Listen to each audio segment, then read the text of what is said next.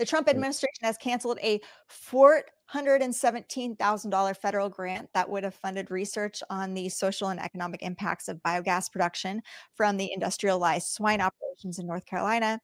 Over several years, scientists from the RTI International in Durham and Gillings School of Public Health at the University of North Carolina at Chapel Hill had planned to continuously monitor the air and periodically sample rivers, streams, and private drinking water in Duplin and Sampson counties. The study would also have collected health data on those communities. Duplin and Sampson rank first and second in the nation, respectively, in the number of swine farms, according to University of Michigan study. They account for 4.2 million hogs on roughly 900 farms. Hmm. Tracts near these concentrated animal feeding operations are predominantly Black, Indigenous, or Latino. The research is important because swine gas operations are proliferating in North Carolina, yet there is scant data on the environmental and health effects near these facilities, according to the RTI and UNC scientists.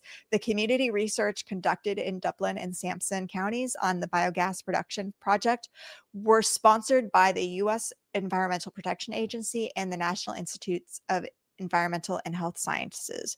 The biogas study was one of at least 1,700 projects that lost funding earlier this year after the Trump administration terminated $783 million in grants at the NIEHS parent agency, which is the National Institute of Environmental and Health Sciences.